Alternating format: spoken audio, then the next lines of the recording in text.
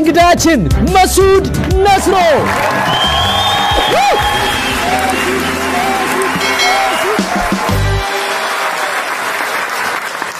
እንኳን ለጌታችንና ለመድኃኒታችን ለኢየሱስ ክርስቶስ የልደት በዓል በሰላም አደረሳችሁ። አጨባጭቡ እስኪ።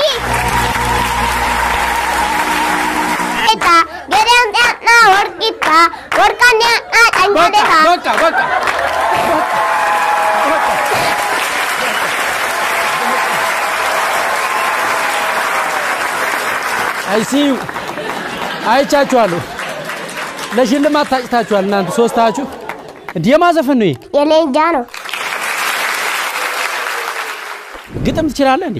አው እስቲ በልኝ። ተራራ ተንዶ የሰፈርሽ ተጠሮ ወጋኝ ተረከሴን ሰው ለወቀብኝ ባንቺ መተከሴን ዋርካም ለቆ መጣ ልንገረው ለዋንዛ እኛ ስንፈቀር ምቀኞቹ በዛ ጉዛማን እሺ አሁን የገጠምክልኝ ግጥም ማለት ነው በፍጹም ለህፃናት የሚሆን ግጥም አይደለም። ለህፃናት የሚሆን ግጥም አተህ ነው? እና እንሂድ እንሂድ በጫካ ልበልል አዎ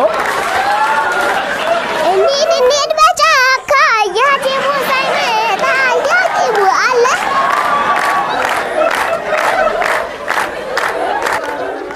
ሄድክ እኮ ስንት ዓመት ነው? እኔ ስድስት በአጠቃላይ ግጥሙ ለህፃናት የሚመጥን ግጥም አይደለም። ትልልቅ ሰዎች ናቸው ያንን ግጥም ማለት ያለባቸው። አንተ እሺ ግጥም ለማን ልስጠው ግጥሙ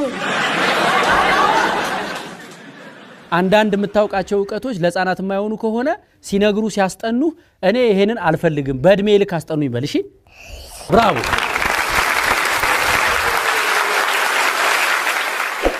ሾንጥሽ ማን ነው? ሾንጥሽ ሾንጥሽ እኛ ሀገር ጉራ አይደለም ያኩቻ ነው ጉራ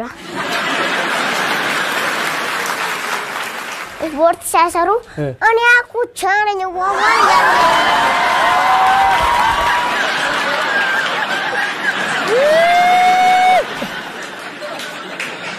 የአኩቻ ጉራ ነው። የሾንጥሽ ጉራ አይደለም ያልከው ለምንድን ነው? የሾንጥሽ እኮ ዳምፕል ስለሚሰራ ነው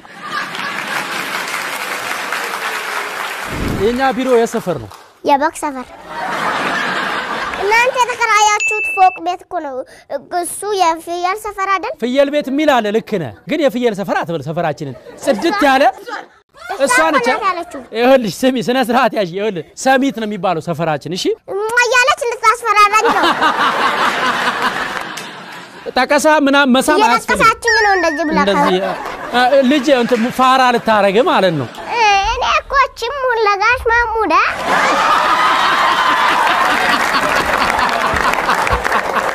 እኔ አብስጥዬ ጎመን ቀቅ እየበላሁ አራድዬ ነኝ።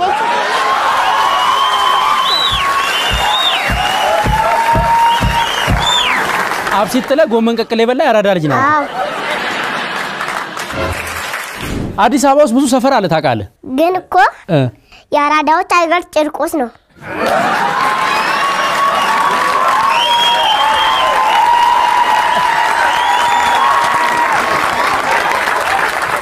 ሼባ ያጨዋውን በክብረ ብርሃን ጋር ፖስተር የሚሉበት ሀገር ነው።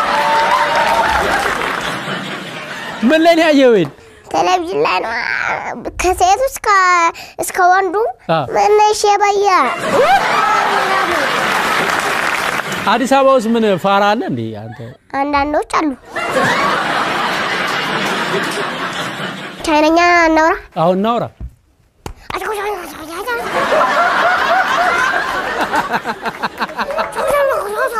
ልተርጉምላቸው እኔ አይ እኔ እና እሱ እሸቱ እና እኔ እናወራለን። እናንተ ቋንቋን በአማርኛ ትተረጉምላችሁ። አንተ ያልከው ምን መሰለህ? እ እኔ አንተን እተካሃለሁ ያንተ ማውራት ነው።